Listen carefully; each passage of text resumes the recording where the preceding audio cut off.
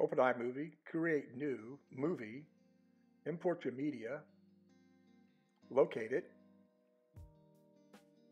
drag it to your timeline.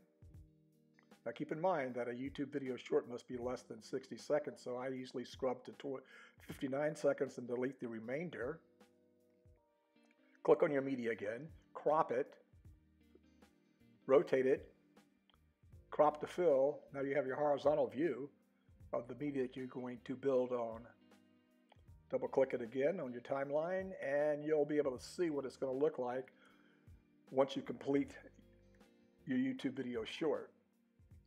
At this point in time, observe it, export it, file, get the highest resolution possible. I go with um, best quality, better quality, name it, save it to where you want to. I save mine to the downloads folder.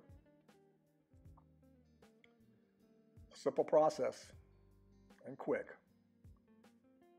There you go. Download, save the file. Now, depending on your system, it may take a little bit longer than a minute, but on mine it took one minute to export the video. Once it's completed, depending on where you saved it to, it's going to open up and say share successful. Open up the video, open with QuickTime, and there you go, horizontal view. Now, but you need to rotate it to your left, and there's your video. Play it if you're satisfied with it. You can um, go ahead and click out of it, save it as, where, etc.